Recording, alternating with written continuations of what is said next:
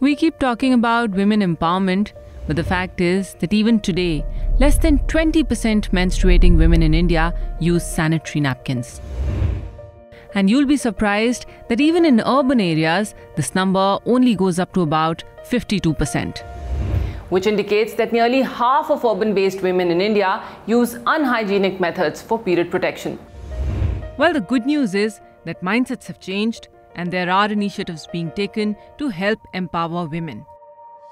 Today, there is a range of sustainable products like biodegradable tampons, reusable pads, and even menstrual cups.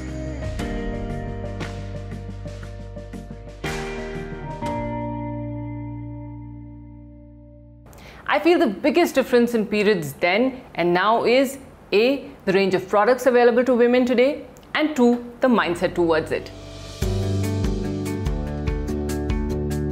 Today, brands like Pee Safe are taking the lead in innovations that are sustainable and put women first.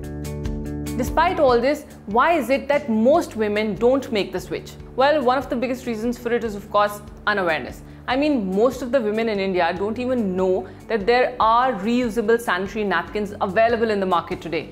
And menstrual cups aren't chosen because of the long list of myths associated with it. But don't fall for any kind of misinformation.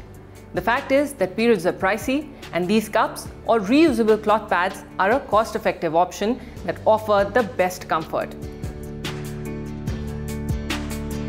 Today as an evolved and more aware human, I also want to opt for more sustainable choices in life. Yes, I agree that washing and maintaining hygiene was a little stressful for me initially because I wasn't used to it but it's a lifestyle choice that I have made to help the environment in the long run.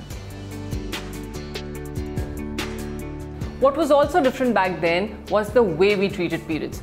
I mean, it was almost like some kind of sickness. Bhago, mud, take it easy, sleep early. Today, things are different. Women today are managing both home and office. I mean, I am a professional whose work involves a lot of travel and even late nights at work sometimes. And at this stage in my career, I cannot afford to lose a single day's productivity due to periods. So yes, it does seem like our periods have evolved and so have the ways to handle it.